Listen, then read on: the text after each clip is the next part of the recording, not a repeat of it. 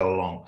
Well, good good afternoon, just everyone. Um, uh, welcome. Uh, if you're new to the IBE, welcome to the IBE. Uh, we we exist to champion the highest standards of ethical behavior in, in business, and we do this through a variety of channels. Uh, we run networks, we deliver training and provide advisory services. Um, we uh, we issue publications and we run a series of events, including uh, in, including this one. Um, and for those of you who have been around following our events for a while, um, this might remind you of uh, Yogi Berra, the, the Yankees catcher, his comment that it feels like deja vu all over again. Uh, because yes, indeed it is. This is a this is a repeat, backed by popular request, uh, a to for us to talk about the Edelman Trust Barometer. Edelman, for those who don't know the organization, is a global communications firm, uh, 6,000 people, 60 offices. And uh, Edelman are in the 22nd year of tracking global cycles of trust. Um, this is uh, we're, we're, still new to the game. Is only the third year that we've that we've run a, a webinar with Edelman to talk about um, the, the, the insights from the trust barometer. Um, but you know, over time, uh, there's a lot for us to think about. The, we have seen, um, you know, the, the barometer has tracked the steady collapse of trust in government and the media, uh, and the growing demand for business to engage more actively on the, the big issues in society. Um, and if we thought that was hard a few months ago when we sort of scheduled this, thinking uh, about you know how do you work out uh, from all the the big topics that are available, climate change, social justice, everything that was front of mind at the beginning of the year. Um, well, it's become ever, even more complicated as the world uh, tipped on its axis through the invasion of of Ukraine. Um, again, as Yogi Berra said once, uh, the future ain't what it used to be. Um, the, so there's a whole range of new issues and challenges for business. Uh, engaging on the right issues, producing the right response at the right time uh, is harder than ever, and the stakes are higher than ever. So, to help us face into that, um, uh, open up the discussion, and to help us frame uh, the, the, the, context for this, I'm delighted to be joined by, again by Mark McGinn. Um, Mark is the Executive Director of Sustainability, Social Impact and Purpose at Edelman. Um, and before joining Edelman, uh, Mark was, in, in, earlier in his career, was um, head of sustainability marketing at O2 and uh, led um, international marketing and communications for Red, the conglomerate of brands that uh, that fights AIDS. Um, I'm going to ask uh, Mark and welcome Mark. I'm going to ask Mark to uh, spend a little bit of time um, going through some of the key slides from the Trust Barometer, the slides that you will see uh, are part of a broader set of slides that is available on the, the Edelman website, but we'll show, we'll give you a link to, we'll give you these slides, but we'll also give you a link to the, the main barometer, which has some of the more about the methodology and some additional slides that certainly have some interesting insights in relation to what's going on in, in, in, in North America. Um, as we go through, we want this to be an interactive session. Uh, there'll be plenty of time for uh, question and answer. So if you do have, uh, well, certainly time for questions. If you do have questions, please put them in the Q and A box, not the chat box. The, the, the chat box is where you should, if you're having any technical issues, please put your question in the ta- in the chat box, and Joe and Alex will try and help you out. But the questions for uh, for, for, for Mark and I, please put them in the in the Q and A box, and as those rack up, we'll be able to um, vote for the ones that that we like. Um, finally, just a reminder: this is being recorded. This will this webinar will be available sort of on demand on our website and on our YouTube channel fairly shortly afterwards. And uh, we, well, not me, um, beyond my capabilities, but my colleagues will be live tweeting as we go through and um, Jo is uh, is going to put in the chat box, may already have done so. She has done great. Um, the the uh, the Twitter handles that you can use there. So uh, let's start off with some slides from Mark. Welcome again, Mark. And if you could take us through um, the the slides that you've selected, uh, and then we'll open it up for discussion afterwards. That'd be great. Great. Thank you, Mark, and thanks for welcoming back. And, and um, thank you, everyone, joining for giving us time to talk to you this morning. Um, so we're going to walk through some slides now that are taken from Edelman's Trust Barometer. And just to give you a bit of clarity, um, these were fielded, these questions that uh, populate these, the answers that populate these slides were fielded in 28 countries uh, back in November in 2021.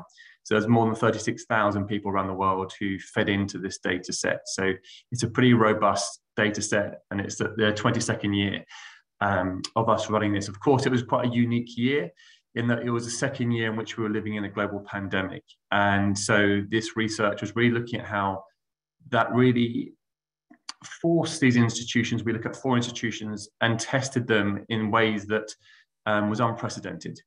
Um, as Mark mentioned, of course, since we scheduled this webinar, uh, another global event has also occurred, which is ongoing, which has also tested institutions further. So I'm sure we'll discuss potential implications of that, although some that's too early to say.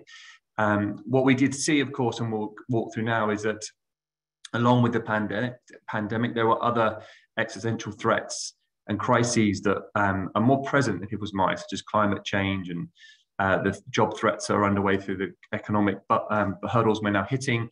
Uh, the future shape of the economy with automation and what that means for jobs and discrimination, which really is not only testing the institutions, but also exposing rifts, rifts and weaknesses in the system itself. So we go on one slide, please. And perhaps that can be um, kind of surmised best in really describing what we're seeing now is a bit of a cycle of distrust. And um, we need to think hard about how we break out of that, how we move beyond that, and we restabilize. Um, and when we looked at the data sets um, and the data points, it felt like the cycle of distrust was really being fueled by um, a real failure of trust in the media and also in government. So we go on one more, please. So when we look at um, uh, the trust levels overall, trust has declined uh, you know, badly uh, for business, uh, uh, for government and media. And business still remains the only trust institution, which was true last year. On the right-hand side of this slide, there is an interesting little um, kind of bubble that came through in May. We did a short burst in May, only 11 countries for that May burst in 2020, where, you know, we're in the middle of the pan pandemic response still. Government had had this uplift uh, because we were relying so heavily on, you know, institutions' response across society in an unprecedented way. However, as things then panned out, as the pandemic continued, and some of the failings of those responses, as well as successes, but some of the failings too, um, became more apparent, that has then swept away, and actually government has gone to what has been a long-term trend, which is actually a declining trust in government as an institution. Um, so would we go on one more slide again now, please? Now, when it comes to media, we have a concern which we have spoken to you guys about last year, which is this rise of um, fake news, this understanding of fake news, but also perhaps this slight sense amongst peoples of this um, ever increasing rise of disinformation. What's interesting about this question is not only that they're aware it's there, but how much fear there is in actually the harm it can cause. And this question is you know pretty strong about it being used as a weapon. And you can see globally there's a four point increase in that. So you know, we've got 76% globally agree with this statement. And it's almost across the board within the countries we are looking at. And it's a record high in 13 of the 27 countries that we are looking at um, see this danger of false news and fake information um, that is actually a weapon against their own country, their own interests, but also um, themselves. They feel threatened by this misinformation. Then, when we turn and look at what's happened with government and why is government not trusted, it's a different reason. It's just simply their level, their perception of their level of competence and their ability to actually solve societal problems. And when we look at the level, the, uh, the response to whether they can take a leadership role, and more importantly, whether they can deliver against plans and execute plans to provide solutions, they've declined further than we saw last year. They already bad last year, it's gone worse. Um, perhaps they'll be very disappointed to see that they're getting the results was so poor, knowing that you know the, the level of government intervention over the pandemic been so high, and yet the public are not um, confident that that has been executed well. As you'll see also, of course, business is holding a very strong position. And not only is it held leadership role uh, alongside NGOs, but also the most competent to deliver the results that we need to see to address the challenges. So we go on one more. Then more broadly, we then see uh, that have you know, institutions are failing some of the existential threats that are out there. Uh, we go on one more slide, please.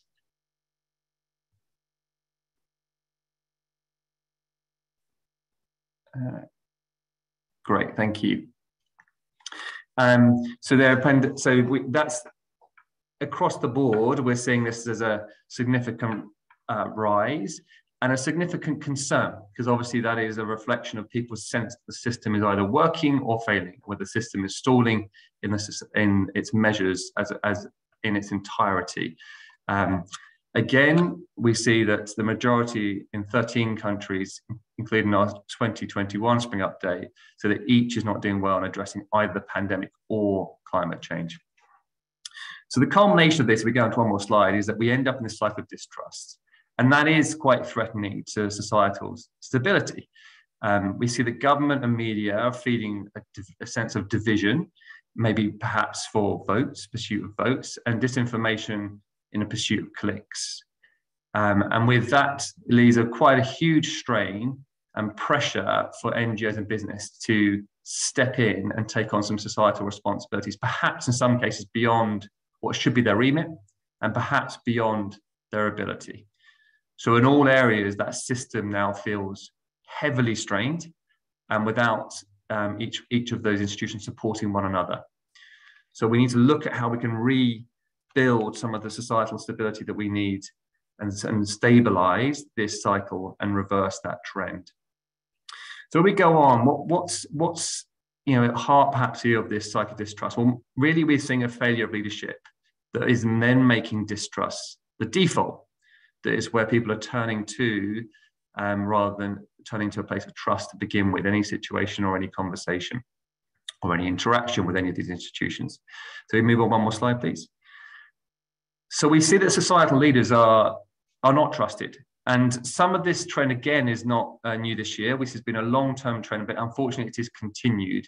Um, so none of the traditional societal leaders are trusted. Less than half trust governmental leaders, journalists, or CEOs.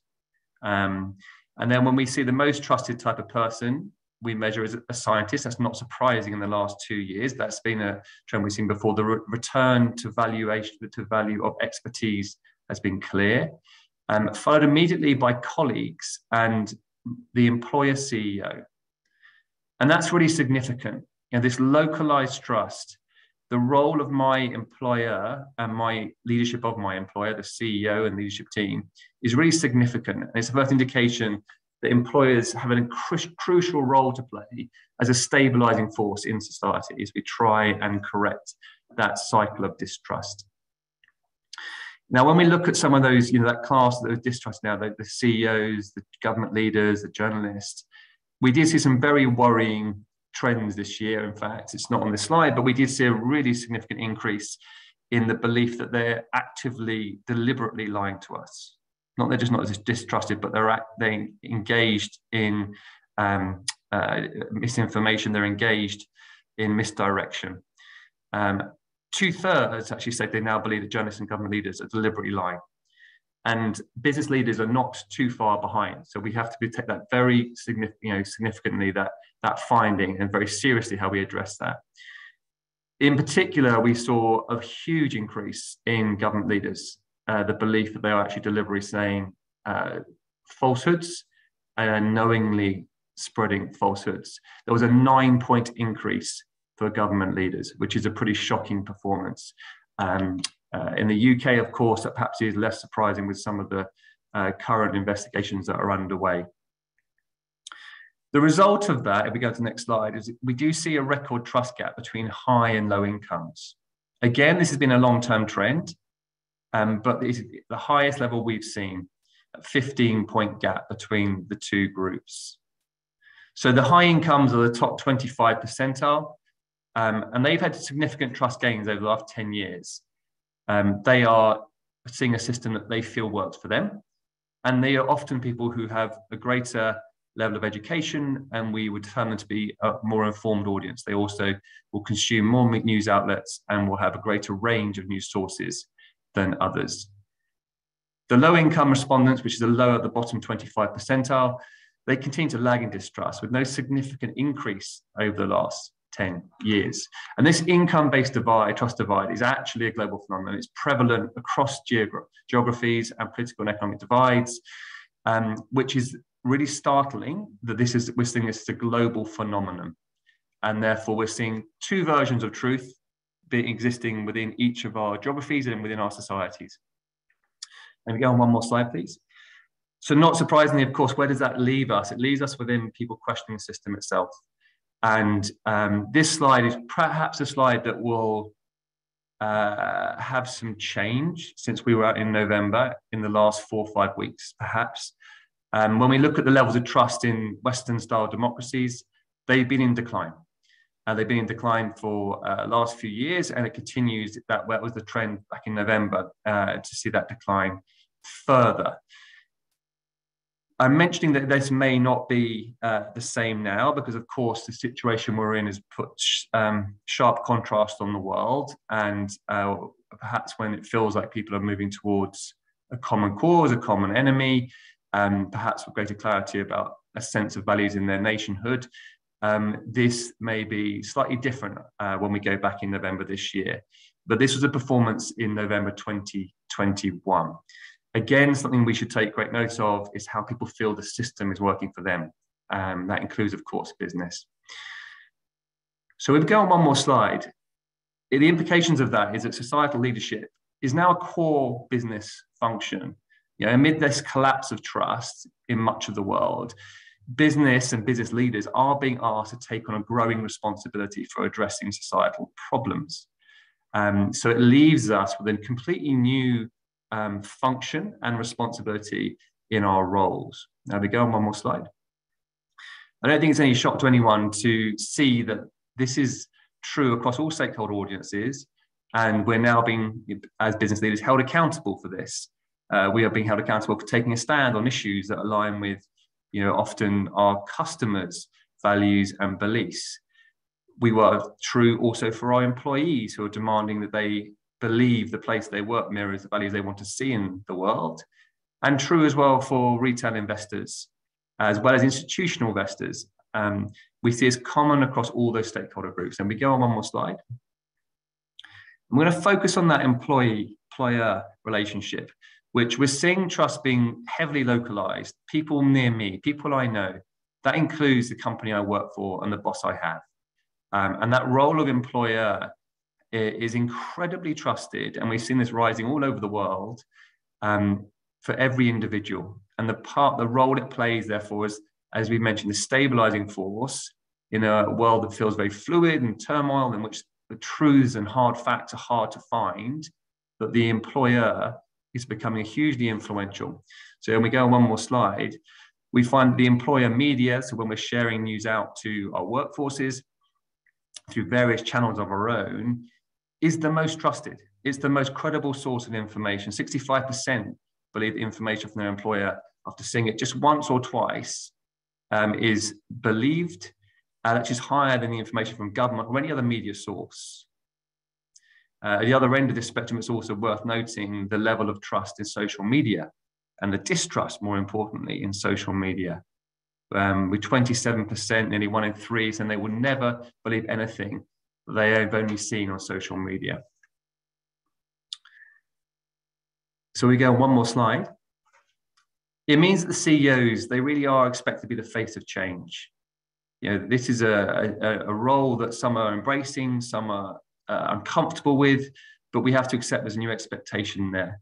Um, and that they would personally lead on change and be visible with that. Eight in 10 believe CEOs should be visibly discussing public policy with external stakeholders or work their company does for society. And then six in 10 employees expect their company CEO to speak publicly about controversial issues they care about, to step up and be vocal. And expectation has increased by five points um, since we asked, last asked the question in 2019, which is a significant uplift. With that, though, we go to the next slide. There's a bit of caution too. And this is obviously difficult and delicate to manage, which is it's really about informing the policy and maybe not the politics. You know, CEOs are expected to help inform and shape the conversation and pub policy debates on a range of issues. And 70% or more believe CEOs should inform and shape conversations around subjects specifically related to business, you know, jobs, automation, wages, and so on. But the majority also want CEOs to weigh in on societal challenges such as climate change, immigration, perhaps even education and healthcare systems um, that we're all part of. However, the only topic which is below majority expectation is when CEOs engage in elections or politics itself. Who should be the next leader of the country, for example? It's important that we engage in shaping policy, but they may take care to stay out of politics. You know, when we think back of the daily press conferences during COVID times, you know, the way that, um, our various scientific advisors stood side by side with ministers and prime ministers but delivered the hard facts, the hard truths, the advice, and did never pass judgment on the policies of the government at the time or the opposition were offering at the time, um, is much the role that they'd like to see CEOs playing. So if we go on, let's think about, okay, well, let's break out the cycle of distrust. We need to move, we need to think hard about how we move beyond it. We, this is clearly not sustainable and it clearly would lead to unrest um, and, and worse. So how can we break out? How can we create a more stable society built on trust? Let's move on one more slide, please.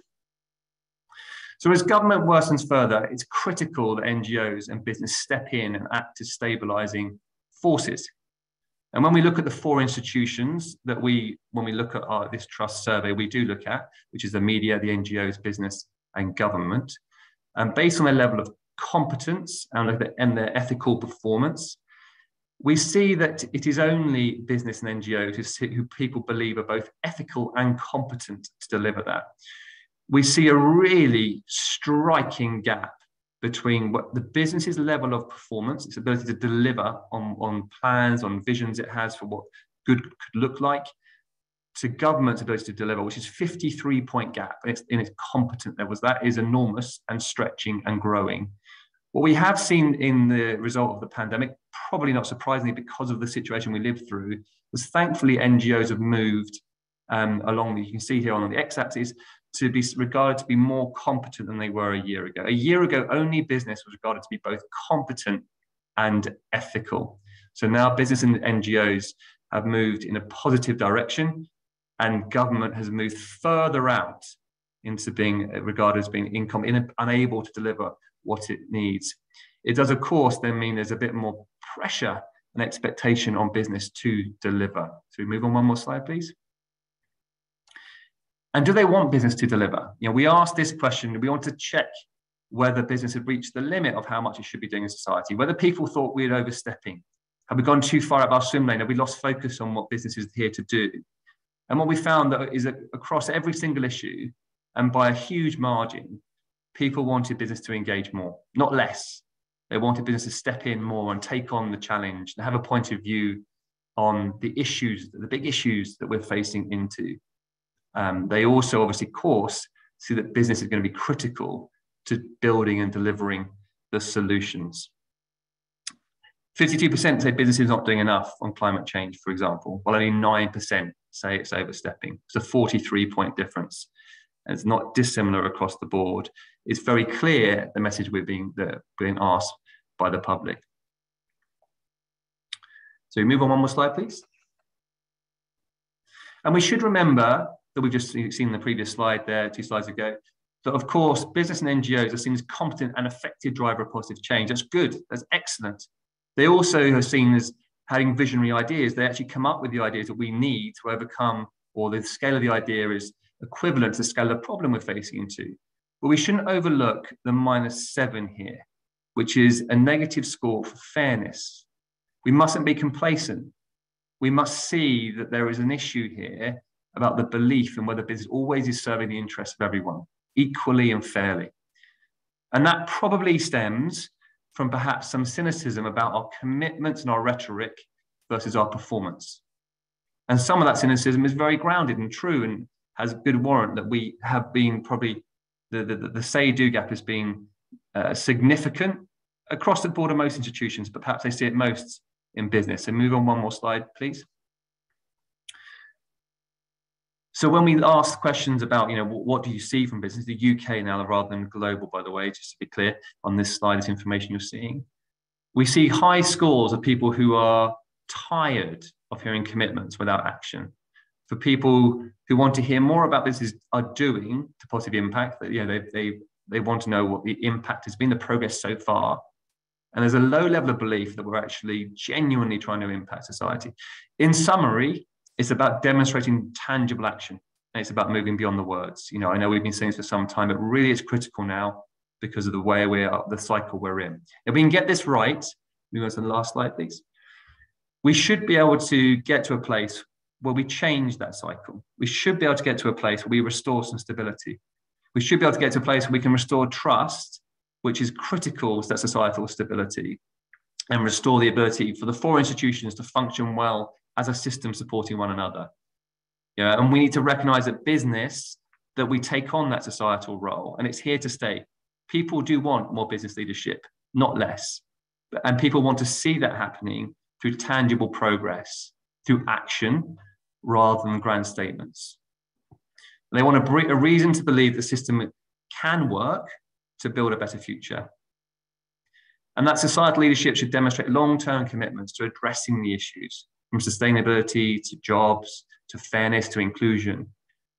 And all the institutions, it's on all of us, we must provide consistent, fact based, and trustworthy information. But we must get through this default position of distrust that unfortunately has emerged in the recent times. So I hope that gives us some provocations and some data points through which we can then uh, have a good discussion with each other now. I think I've just lost the light in this room, unfortunately.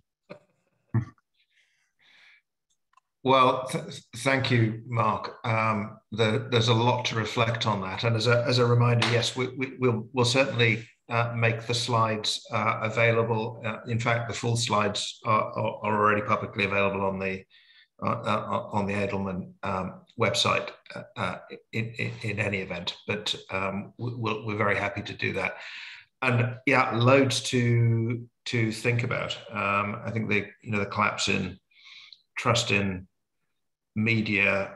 You know, it just feels like an awful long way back. Um, I don't know if you know many of us will have seen that sort of look up from Denzel Washington the other day, uh, bemoaning the you know the what I think it was he was describing as the battle to be first. Um, and you know, as the media has got very short-term horizons, and it's all being out, all being about being being out first with the story.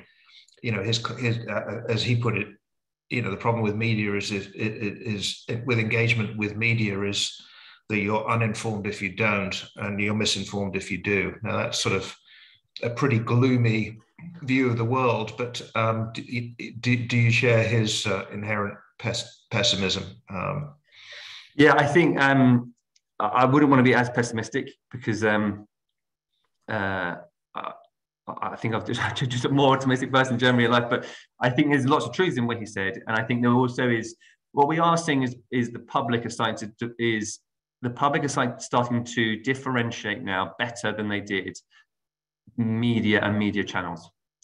They are certainly separating social media out from media outlets, and there is a greater need for us to really help people understand what media literacy, media competence should look like. And what I mean by that is that we should be challenging people to, you know, consider different sources, consider different outlets, consider why they're writing information and why they're sharing it.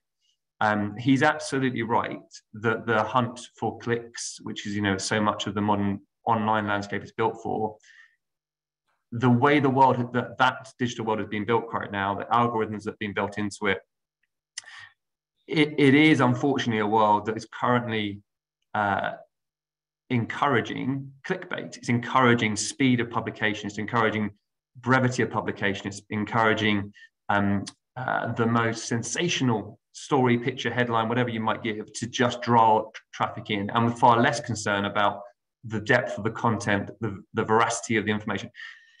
What we, I think, we need to make sure we do do is that the institutions that are still delivering meaningful journalism, the institutions that are still investing in ensuring that the integrity of their sources and their information um, are supported, and that we are encouraging all of us to understand what um, kind of good information hygiene is. That we're we're challenging ourselves not to be lazy, um, and we're challenging ourselves to think about sources, think about um, our support of those institutions that are still doing the job of trying to find the truths, trying to find the facts. Um, but I also agree that it's um, that's quite an ask in a world which is you know with an overwhelming amount of information right now, um, and with young people growing up in it, which without much, truthfully, much guidance about how to navigate through that. Well, and and when it's navigated for you in the in in the you know these channels appear to be benign open channels, but actually you're being directed down a, a you know a channel with ever ever more reinforcement of the view that you've expressed that you've shown an interest in. So it takes you to more polarized um, that's right. The deep silos. Yeah. no, it's, it's um that, that's that's certainly worrying. Um we, we've had a gosh we're getting some questions. I've got to work harder with my um, actually we had a question in well, we had a technical question, so let's do that one quickly while we're uh, while we're going about. Uh, uh, it's an interesting question. You know, does does the lack of trust in government, uh, you know, to what extent, country by country, does it does it correlate with the with the level of control of uh, over the media? Uh, oh, there's some interesting correlations there.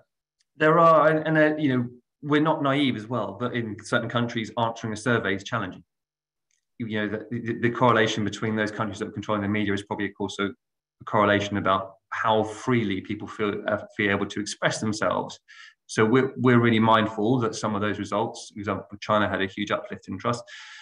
Um, I'm not saying that if you're in China, you don't believe that. We're also mindful that in China, your ability and your general societal norm to be able to answer freely a survey is slightly different to other countries. So I think there is a there is a correlation, and um, certainly the kind of central command economies and, and countries have in this data set they've performed well compared to democracies in, in recent years. Um, uh, we're mindful, though, as I said, about the skew that could happen in the way we are delivering surveys and asking people that that might be uh, over-indexing we had another quite, we had a question in advance, which I want to make sure that I don't miss. That would be a bit awful if somebody's submitted a question in advance we don't get to it. Um, it, and it was about what's required from the from the from the you know the the, the banking and finance sector uh, in in terms of uh, I suppose ethical leadership standards, given the the continued collapse of trust in government and the media. And I wonder if I might sort of know, broaden it a bit uh, it, and relate it to you know those organizations in society like the, the, the, the banking and finance sector that are the sort of key to the operation of society. What what special responsibilities do those folk have? Yeah great question. And i i think fundamentally it's probably it's not just it's it's probably constant with virtually all companies and all sectors but particularly for finance and any regulated industry, regulated because they are so enormous. And they feel to most people, citizens, that they're, they're almost too big to move. They feel a bit impenetrable to impact. And so, what they have to continue to um, not only uh, show, more importantly, to do, is that a mindset that puts the client's interests and that includes societies widely and more broadly, first, and accepts that that may impact its own profitability to a smaller extent if it does that consistently. And I think that you know in many industries, particularly finance, you know, all the scandals that have arisen is when there's been ethical lapses that come back to an action that you know perhaps reverse this priority and put the bank's book first and it seems to neglect, you know, really its its original function, which is to serve its clients. And that is not just, of course, finance, that is all industries um, where we have to, and you know, it just means that not only we stay, saying that, we need to make sure there's cultures and structures in place that means that the individuals working in those institutions feel empowered to n- not only make, avoid and understand what are the wrong choices, but also to make the right choices and make the right choices in front of and despite perhaps other colleagues moving the other way. Um, and that's a you know, really important cultural challenge that you know, should be owned by all leaders in all sectors, but perhaps particularly those who have, um, if there's been experience in recent years where it hasn't worked that way, that needs to be overcome. Yeah, and I think there's you know there's a there's a there's a cultural risk that we're all familiar with that you know when you go through a big problem like that. And suddenly you've got an awful lot of behavior codified every day to try to ensure that people don't do the wrong thing. You know i think a really important question for leadership is are we empowering people enough to do the right thing? Yeah uh, absolutely right. many of these many of these highly, highly regulated businesses post financial crisis do not do not feel like particularly empowering yeah. uh, uh, environments. And, and uh, you know most of the time where you're wanting people to do the right thing it's because you know it's a situation where there's ambiguity and uncertainty and where the outcomes the logical outcomes for, for following the defined process don't get you to what seems objectively the right answer yeah. Uh, so yeah um, the we, we had a, a question about the um, the, the sort of uh, leadership model, if you like, post uh, going forward. I, you know, who should take responsibility for the development of a new generation of of CEOs and, and leaders, and how do we put truthfulness mm. and integrity and ethical behavior ahead of everything else? I mean, mm. you know, one of, one of, my hopes, one of my lasting hopes for the, for the um, as an aftermath of the pandemic was the you know the value that we'd seen of of, of ethical leadership the the um, you know the the importance particularly of empathetic leadership that that was going to be a lasting um, yeah. legacy people would have seen the value of that. What, what, are your views? I think it's a great question first of all. I think it's a brilliant question. I think that um, I think we should remember context. That I believe and, and if I'm wrong please someone correct me in the chat I believe that by 2030, we would just hit a tipping point where it, it, by mod, the current modeling is that we'll then finally have the majority of leadership teams in a slightly broader sense who are millennial for the first time. And I mention that because the we know the millennials bring a new value set even more than the generations that follow, Gen X and Gen Z rather. But the millennials do bring a new value set. So we have a generation coming through who do represent who do arrive professionally to work with different values which are prioritized more. So that's the context we're in. So some of this is going to happen because there's an organic transformation which we all experience and we're experiencing today in our workplaces, which is good. But they need to be empowered and they need to be uh, given sh- shape in the organizations and also mentors and role models that also demonstrate that is the behavior we'd like to see and that we're empowering that behavior. So there's clear there are institutions out there. We know that you know there are some great institutions. I know that, for example, Prince Charles has got a lovely leadership um, program running with the Cambridge Institute of Sustainable Leadership. Um, there are others. There are many others, in fact, where we are trying to reframe, you know, the considerations of what a leader is, and moving away perhaps from you know, charismatic solo leader to collective leadership, to try moving away to the considerations of what is a successful business and being more thoughtful about that. I think it's also beholden to current leaders to reflect on what perhaps has gone wrong in uh, the last few decades and the leadership they'd like to see coming through to their successors. And as they mentor those successors, they maybe don't replicate what they were told at that point in their careers, but they work hard to share a vision of what they'd like to see the business being um, and be brave about that vision they're laying out for the successors. And um, I hope that people feel they given they've been given the space by that those people above them, the, the, the new leaders who are coming through now, to um, behave with the values in the organization that they believe the organization should have.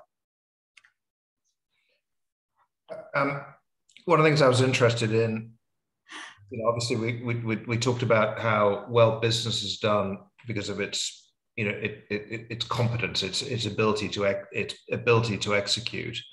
Um, you know, another thing that we have, that we, we, we have seen sort of a, a, a, probably with the, you know, the development of purpose and so on, a move towards longer term horizons, perhaps for companies, at least at least aspirational, and perhaps much shorter term horizons for the media, as we talked about, and for uh, and, and for government. You yeah. know, we can uh, bury a story for a few weeks. Nobody will care about it when it comes when it eventually comes out. Is certainly a theme that we've that we've seen. So, yeah. how, how are those sort of horizon spans play into this? Do you think? That is a, a really important question, particularly super relevant. So we're aware that, you know, I'm aware the conversation I'm having with clients and partners, many organizations right now, you know, they, really are parallel tracking, you know, with what's going on in the world today. There's business continuity. There's there's a, there's immediate challenges that are in the next few weeks, in the next few days of how do we still function and what regions are we still functioning in, uh, as well as critical long-term strategy that has to be maintained as well. And uh, so it, it's partic- it feels particularly apparent right now. I think the ability to have a long-term horizon is, is really important.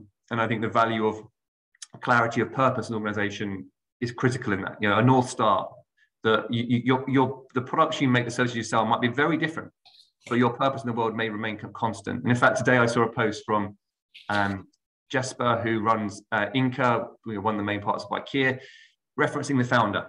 I think it was the founder's birthday. Their purpose has always been super clear, super clear, which is they work towards a better everyday life for the many people. And originally that was the obvious. It was sofas you could afford. It was kitchen units that were affordable to most for people with thin wallets. And then as they're moving forward, it will change. It will be smart home facilities, you know, it will maybe you know mobile homes in future it may be the way we might you know the mobility solutions whatever it might be their purpose will remain constant now in the short term there'll be three five year plans that will oscillate around that you know that will include sustainability plans that will be much nearer to five year plans with a long vision of, of course of 2030 or 2040 but you know really is a five year cycle but that north star that purpose that enables you to do the long term planning to think about what's this company going to, how, how what shape do we need to be in in 100 years from now is really critical. And I think when we end up in these volatile times, often, of course, always the urgent feels more important than the become replaces the important. And the, one of the important things is that long-term strategy planning, which sometimes gets neglected. Yeah. Can I can I link? I was going to link two questions here because they're both sort of technical questions on the on the on the survey or, or um, digging down on the survey results. You know, did you see big differences in trust between large global businesses and smaller local businesses was one question, and then this, uh, and then a you know a, a, second question on it really relates to the, the, the patterns of trust. You talked about the you know we've seen that big gap, yawning gap between high and low income, and that's and that's moving. Yeah, play out in different in different you know about who you trust. Is it playing out that that, that trust is particularly falling? hardest in one particular area for those for, for those low income groups? Yeah. Um, so the first question, um, I'm not so much the size of an organization, it's the values and it's the behavior of the organization which is driving the trust. Um, there's no doubt there is some cynicism of scale is bad, you know, a, a simplified um, challenge that we face as large businesses um, that there is a perception that big business you know is not working for me that it's working for someone else that i don't quite understand who it's working for but it's not me um, that can be that, that, that is often a start point. However we're also seeing that big businesses do perform well when they behave well when they demonstrate their values through what they do. Um, so i wouldn't say the size is the dominant factor in the performance um, of trust. Uh, the second question, sorry, Mark, my, the second question is there in my mind. Second question, uh, for, you know, for, for that you, that widening gap between high and low income. Groups, oh yes, is trust in different institute is the pattern of trust in different institutions playing out. So is that you know is the driver for the reduction in low being driven by you know rapidly decelerating trust in one particular institution? Yeah, we do see some discrepancy between markets. So we see a huge divide in North America between the high and low incomes, the, the more informed and uh, less informed um, citizens. Uh, we do see a difference. Of course, one of the questions you asked earlier about government trust is obviously quite different as well in the in the system in which you live in. We do see the, the trust in media varies a little bit. Often the high income have got greater, that conversation we had earlier about understanding the broad sweep the media now is and differentiating between one another, differentiating between social media and media um, is more significant than in the lower income. Um, but we'll have to dig. I'll probably I'll try and dig in some data actually, and maybe share with the group afterwards a bit more to that question. It's a very good question. Yeah, that would. I think that would be. We'll all be interested in that. Look, here's a question that we ask ourselves kind of every day. It's in our. It's in the, the words in the title of our of, of our, in, in, our our institution here. But you know, ethics is sometimes a word that comes with some baggage. Um, mm. You know, how do you think the um, your the, the people you survey understand that word, and do you frame it for them, or or is it sort of um, free response? It's a really really good question. Um, I so how do they understand the word? I honestly, vaguely, and I think with great variation. Uh, some really big themes that come out. Ethics is fairness, and that is how people often express ethics in action is in fairness. And with that broadly, which is this is also a very big word, um, is justice. And they see that in terms of the way people are treated in business across its supply chain and value chain, very important. Um, justice in the way people may be kept to account within companies too and companies' behavior. Um, I think ethics also is about a consistency of performance for many of our, they, you know, they want to understand it's not a moment in time, it's something you've done over all my interactions with you, over an accumulation of direct interaction with you, whether it be direct or indirect, that there's some consistency in the values which you've shown, um, and that those values are based on uh, what we broadly would term, or the people we talk to, would broadly term what is good for society. And of course, the definition that's quite broad across society, but um, there are some universal values that, of course, I think most people, 99% of people, do hold true. Um, so I, I, hope that answers my. I think that you know it's a very complex word for most citizens to really grasp, but those are some of the. That's often how it comes out expressed back to us. Yeah, yeah. It, well, it, it's it means different things to different people. That's that that is a perpetual challenge um, for us. That's for sure. Um, eh, here's an interesting question, and apologies if I'm not strictly sticking to the the, the voting order, but um, uh, is there less trust when government is more centralized as we sort of flip flop in the UK? Um, it's an interesting question. Um, yeah. Um, if we look at the data, there's more trust. In the last year, the centralized economy, I mean, I mean truly centralized, not not kind of yeah. you know, if you're looking at China versus UK, for example, yeah. um, there's more trust in those governments currently. And um, we should remember that data is from a, a, market, as we mentioned at the start, where asking people surveys is not normal behavior, or especially we, we have to remember that. However, um, in times of great change, which there's no doubt we've been living through for the last two and a half years, sometimes that command economy, that command center can be quite reassuring. Sometimes that speed of movement, speed of action, delivery on the ground, which can be achieved in that can be quite reassuring when things are moving so fast around you. Um, so we to just look at the data. Actually, it looks currently like that central command government is performing quite well for trust. I would say that data was from November last year.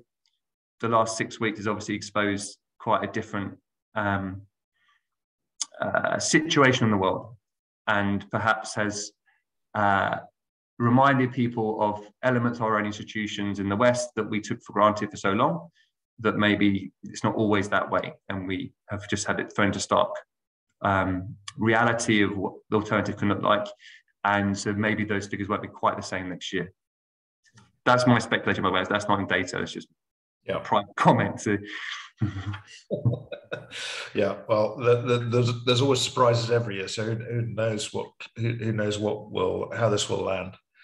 Um, uh, one of the interesting thoughts, and tell me if you think. Sorry, one of the one of one of the thoughts. It, one of the things I thought was interesting that made me made me think in this is um, you know that importance of local communication i'm thinking about the, the you know the, the, the importance for companies um, you know there's a, there's a risk that ceos with multiple layers of, of middle management between yeah. them and their front line should not take any comfort from this because the next step presumably is going to be that people only trust their local manager and don't trust the big boss uh, at, at, at uh, at, at, head office. And uh, I think you know many of us see you know we see that in you can see that in in employee some of that in employee services in employee surveys um, from time to time when there's strong you know local leadership.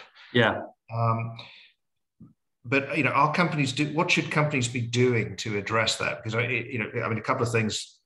You've got to make sure that you know if you're if, if you're empowering um, your, your middle managers by making sure they are part of the communication process and you're giving them the Q and A's and the little the little packs to to to brief their teams. That works really well because then they're hearing group messages from their immediate manager.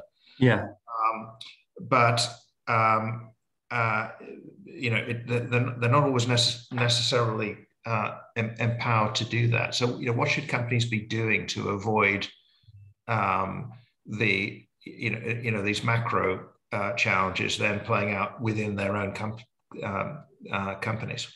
Yeah, it's a great it's a great question. It's obviously kind of a perpetual challenge to any institution of any size or any considerable size. Um, I think one thing to do is first of all to stop talking and, and actually start listening, and to remember to listen not to leadership but to the people, all the way through the organisation. I think what you were touching on, Mark, in the question is inconsistency. And I've got a visionary CEO who I really do believe he doesn't or she doesn't seem to understand the behavior three levels down is not the behavior that he or she is telling us the other values of this business. And we all know, and we've all seen leadership teams who simply um, are uh, ill-informed of current performance, which is hugely dangerous because inconsistency drives mistrust and distrust. And then, of course, that is then a vicious cycle where people then, to your point, they don't feel empowered. They feel they've got permission then to take shortcuts and make the wrong decisions because they think there's no repercussions. All those. So I think, first of all, listen and listen beyond your own champions. Listen beyond those you've promoted into positions of power. Listen to the people directly and just understand your current state of play. And then I think your point around, okay, well, let's, once you understand what, what would you do to ensure there is consistency I think you have to be absolutely clear what the values are of the business. And that's the, and then from the values, you should get the behaviors corrected. And with the behaviors being consistent, hopefully you should then have um, that ability for all levels of management, um, all levels of participation to work in accord with the, the leadership direction that's been set, the values that have been set, the, the ethical ethical structures that they want to operate within. Um, uh, so I, yeah, I, I, would just hope that people take a moment to ensure they are they're not listening to the 10%, but they're listening to all to make sure they are performing consistently.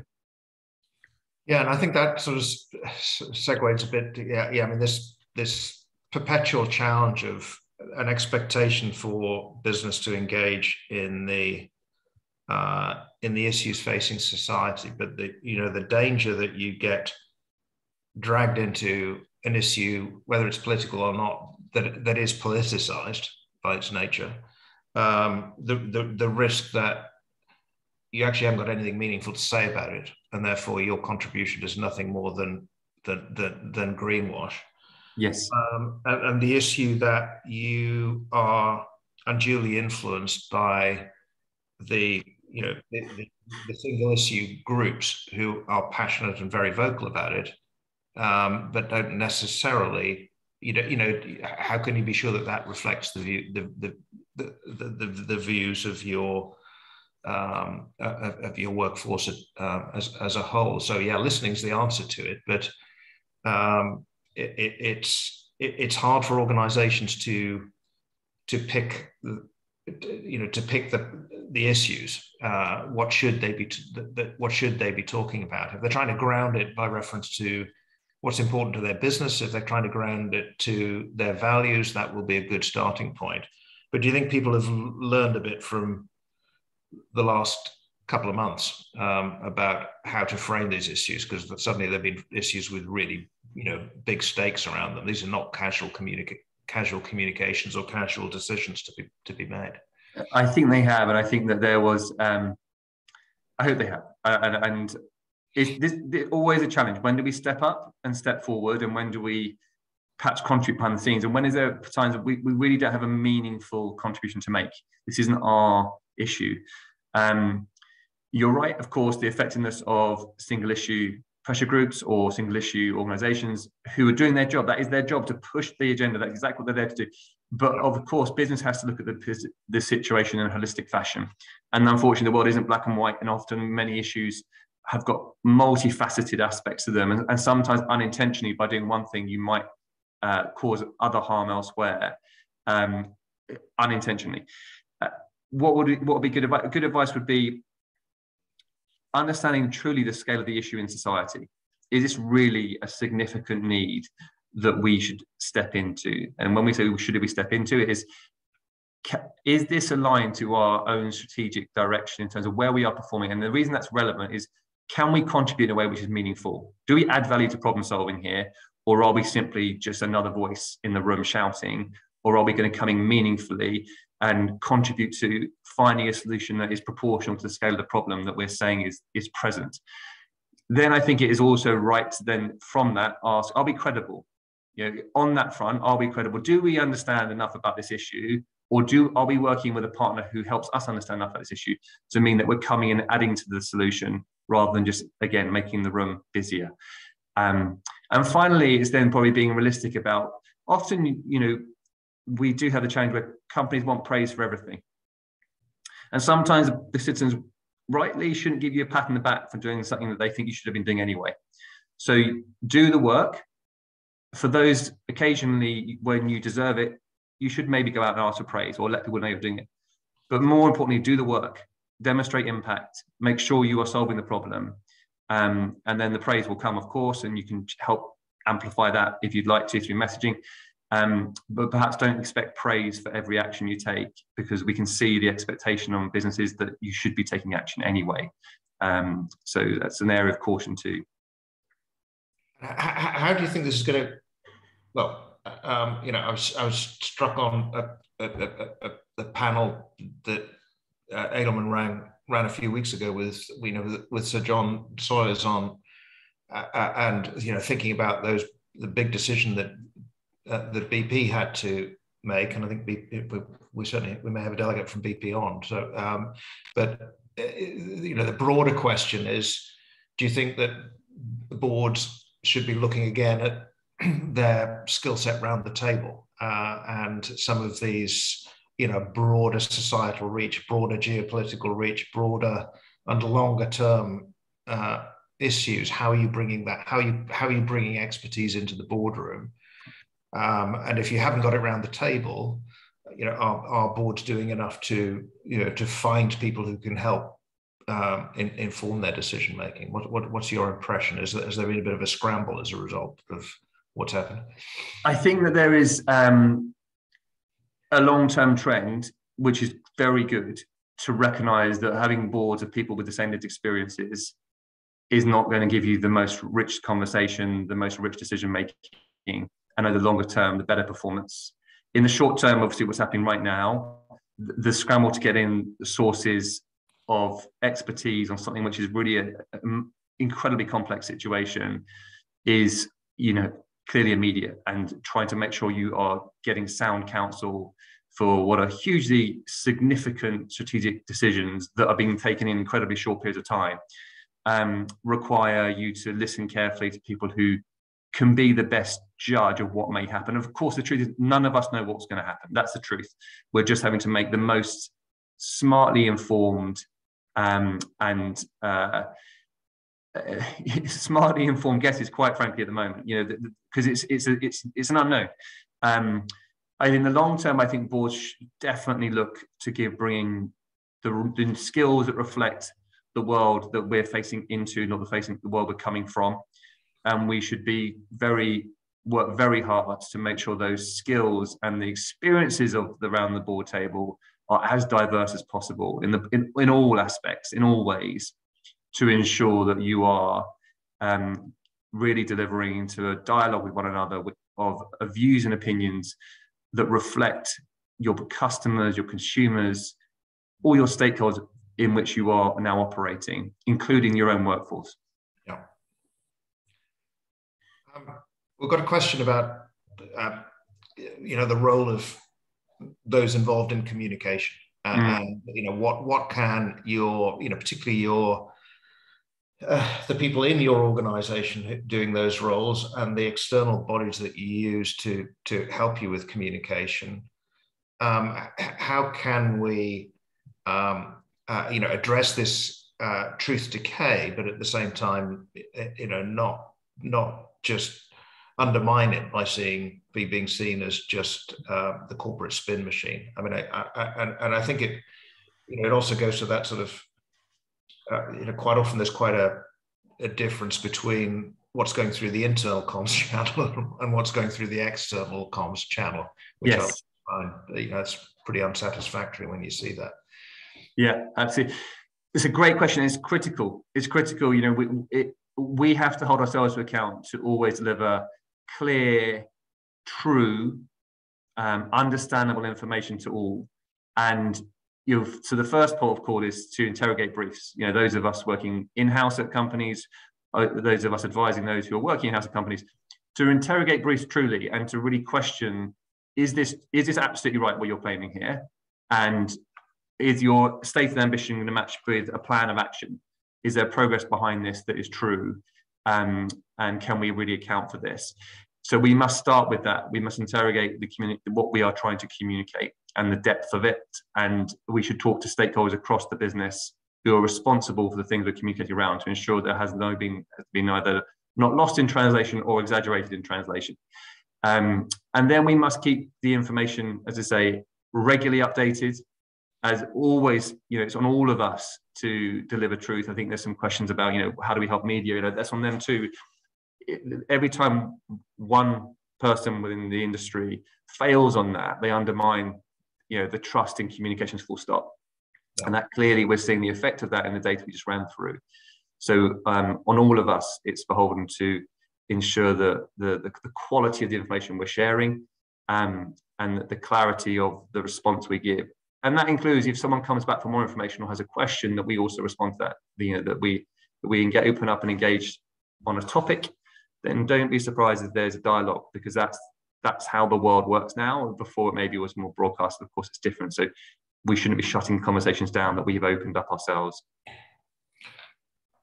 There's a there's a question here about you know that um, the the line manager that is uh, the Maverick line manager, the one who doesn't toe, toe the line. I mean, I think we know for, for all sorts of reasons you can't have a communication cascade that's going to work. You can't have a cascade. You can't have any, frank, frankly, any any uh, um, you know delegation of the of the standards that you want to have um, from above if you've got people who are just not following the culture and not being measured and held accountable for for their behaviors. But I, perhaps, but uh, you know, I, I think maybe if the risk of slightly rephrasing or re-emphasizing the question, I wonder, you know, are we doing enough to support our middle managers with this communication role? Um, you know, I've seen it, as I said, some of the tools are helpful. If you give mm. people you know, toolkits and you, and, and, and, and cascade calls and so on, but, you know, many organizations don't have time f- for that. And, and all you get is you know there's a message issued from above and an encouragement to talk about it at your next team meeting. That's not mm. tremendously helpful to the to the middle manager. So what what would you encourage organizations to do to to truly empower their middle managers? Do you know what mark? I think it actually goes back to what you said earlier when we were talking about finance bourses regulated industries I'm actually not. I'm not sure that's so much of a communications challenge that we. And by the way, I think that talking about middle management is actually the right audience that is finds it hardest because they're probably they're at the pinch point between senior and and the, the, the doers. With they're the busiest. They have a whole range of short term targets as well as these long term uh, aspirations of the business pushed upon them. But I think the bits are really missing is giving them the structures and the governance within the organization that allows them to turn the communication into behaviors of their teams. And that's where they find it hard when they've been asked to relay a message that their own team say six months later, nothing's changed. You know, it's very, it's wonderful you gave us a new piece of wall art and a PowerPoint, but the behavior I'm seeing around the business and from you yourself is exactly what it was six months ago. So I think the challenge is more that we equip them with um, the change in how the business then shapes itself, the culture it sets at play, and they feel empowered with those tools to turn the words into the behaviors they want to see in their team, and they can empower their team to deal with those behaviors. Um, and I think that's where they feel the most squeezed when they really feel like they've been given um, vacuous statements that they can't back up in their own management of that team. Yeah, yeah. Um, what are NGOs doing? What have they done in the last, um, you know, since we last talked that, that has helped move the bar for them? They're moving in the right direction. They are. They've obviously had an incredibly tough time.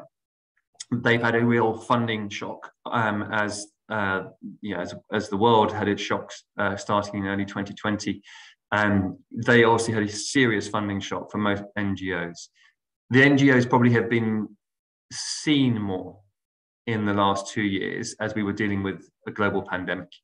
Their work on the ground, their work in communities nearest to us all has become much more obvious and understood. Um, and right now, of course, that will be continued with know, certainly from um, a Western viewpoint, the work that's being done, heroic work that's being done on the ground to help with the humanitarian crisis out of Ukraine is again making people see again the work that perhaps we overlooked. So I think that some of the, the reason that they have moved is people are seeing the results of their actions more visibly. So their competence level has shifted up. I don't think they struggle with a view of whether they were ethical, but they did struggle with a view on whether they were competent. And having people experience that competence in recent years by seeing the impact in their local and, and slightly more distant communities, they've risen and they've had a tough time. And as a sector, they deserve you know all the praise they get because um, they are still in a tough time because funding is still very challenging for them, um, and yet needs are greater than ever. So um, it's good to see them moving the right way, and um, we probably have to make sure that they also aren't overburdened. That there is not too much expectation for them to deliver things that um, they're not meant to deliver on a permanent basis.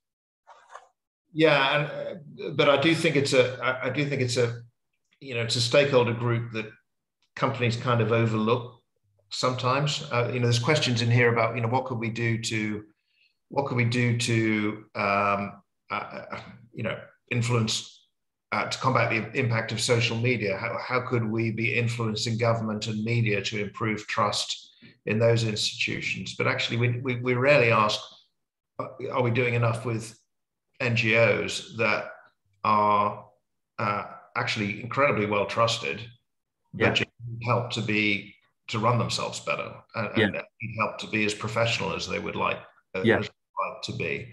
Um, you know, it seems to me there's a there's a big that that's a um, uh, that's a group of institutions that companies have have perhaps not chosen to partner with. So rather, how can you know, rather than how can we partner with institutions that are going backwards, uh, you know, um, should we be doing more to partner with institutions that are moving forwards and having success.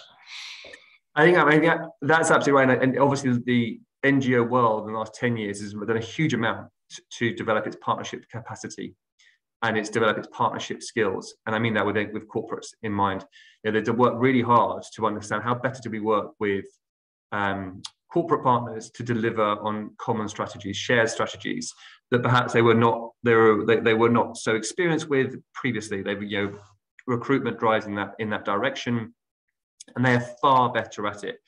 And then equally from a corporate philanthropy perspective, which is not I know you're not just talking about corporate, corporate philanthropy, but there's also an understanding and a move to giving the NGO leaders more autonomy, and that you know there was often you know never would we fund the core costs of an NGO because we can you know be abused and so on.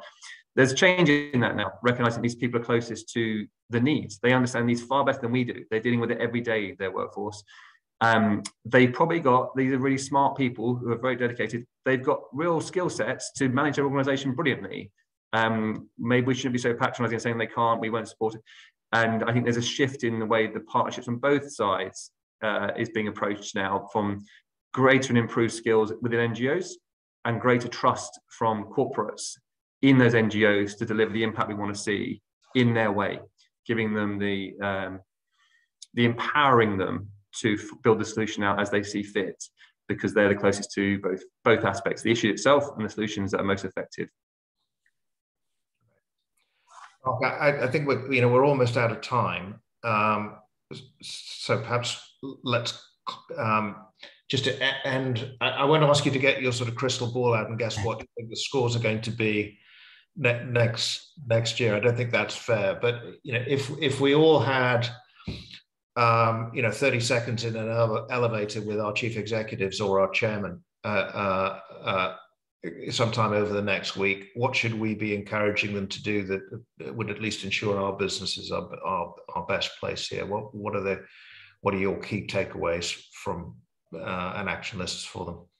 I think that when we're living in times when the winds feel, of change feel so strong around us, the importance of what you hinted at earlier, Mark, of having long-term strategies and a long-term village, a vision that we un- we understand is robust. We've this has been um, hasn't been smashed together. This has been thought through, and reiterating that for people in times of change um, is empowering for them and reassuring for them.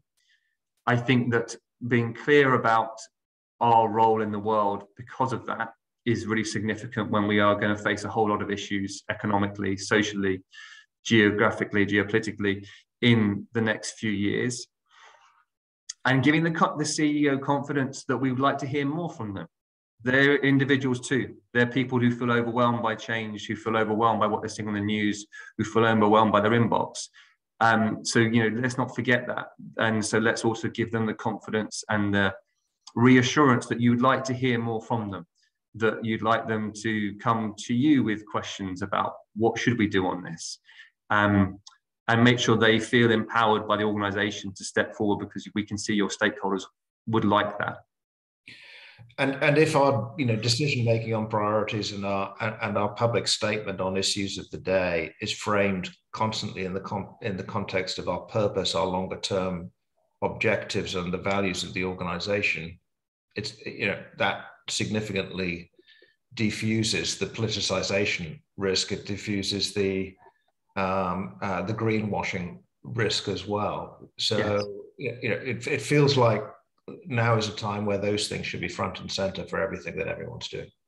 Totally, and and really practically, you know, with that clarity, you speed up decision making yeah. because people are empowered to understand the direction the business needs to go. And what we do know is that there's going to be a lot of decisions has to be made in the next six months because of what's the change that's happening around us. Um, and if, if there's a paralysis in the organization, then uh, that could be deeply harmful, uh, both operationally, uh, culturally, and then reputationally. Great. Good point to end. Uh, look, thank you, Mark. It, it, it was um, a uh, you know, fantastic gallop through what is an extraordinary piece of work and, and, and a multi-dimensional analysis of of a, a, a complex topic. I think there's been loads to think about, loads for us to take away. I would encourage people do have a look at the slides in more detail. Do go to the Edelman site and look at the at the full deck. Um, that, that, there's loads there. But thank you, Mark, for for guiding it through us, and thank you for for taking those questions. Really, uh, very much appreciate your your time again, and, th and thanks once more. Uh, just before we close, uh, yeah, we will put these this the the we'll make the slides available. A recording of this will be available on our website on our YouTube site.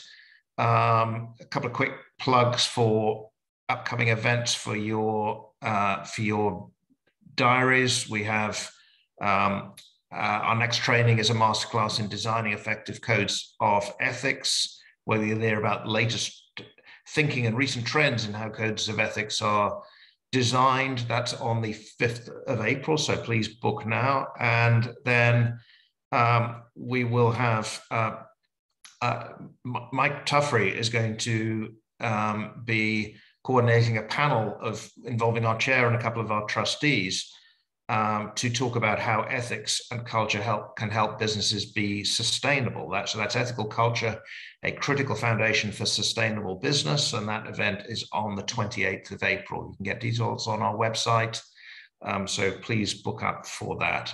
If you can bear staying on for another couple of minutes just to complete the feedback survey, that would be enormously helpful these events are designed with you in mind. So if you if if you have any feedback, um, we'd love to hear it so we can make these events as useful as possible to our audience.